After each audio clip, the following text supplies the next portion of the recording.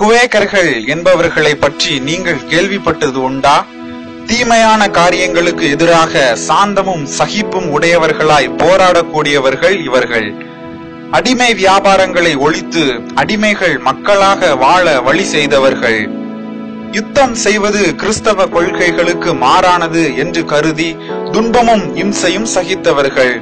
பெண்கள் சுதந்திரம் குறித்து புத்துணர்ச்சியை உண்டு பண்ணியவர்கள். பல சீர்திருத்தங்களை மக்கள் மனதில் ஏற்படுத்தியவர்கள் இவர்கள். ஜார்ஜ் பாக்ஸ் இவர்தான் இவ்வியக்கத்தின் தலைவர். தேசத்தின் தீமைகளுக்கு விரோதமாக இவர் பேச ஆரம்பித்த போது மக்கள் இவரை கல்லால் அடித்தனர். சிறையில் அடைத்து சித்திரவதை செய்தனர்.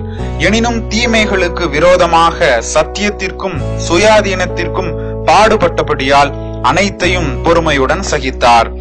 பல துன்பங்களின் மத்தியிலும் பாக்ஸ் நல்ல தரிசனங்களையும் ஆவிக்குரிய அனுபவங்களையும் பெற்றார்.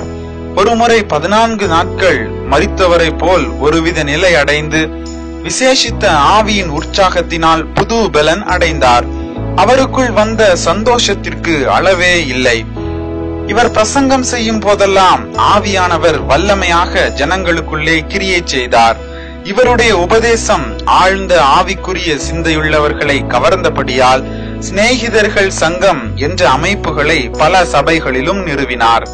இங்கிலாந்திலும் பல தேசங்களிலும் சுற்றுப்பயணம் செய்து ஆயிரம் பதினாயிரம் மக்களை கிறிஸ்துவிடம் வழி நடத்தினார்.